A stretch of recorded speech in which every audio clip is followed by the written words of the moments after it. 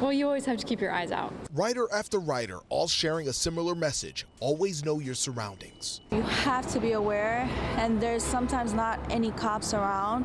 Luckily for one rider, security guards were around Saturday morning at the 169th Street station in Jamaica, Queens. Police say this man followed a young woman exiting a Queens bound F train. Once the two got to the mezzanine, the man allegedly punched the woman several times, covered her face, and tried to take off her clothes. Thankfully, nearby security guards heard the commotion and came over to help.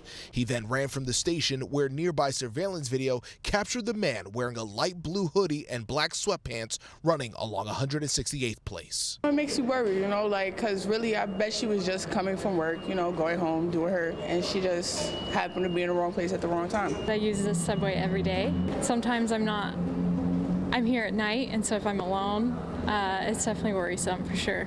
And it's not just on subways. Over in the Bronx last Friday, police say this man grabbed a woman on board a bus. When the 33 year old mother of two confronted him, he slashed her in the face. He ran from the scene while she was transported to a local hospital. While major crime is up on subways, sex crimes are trending down. According to NYPD statistics, there were 84 attacks last year compared to 75 in 2024. That's an 11% decrease. Police believe sending more officers into the transit system helped reduce crime in February.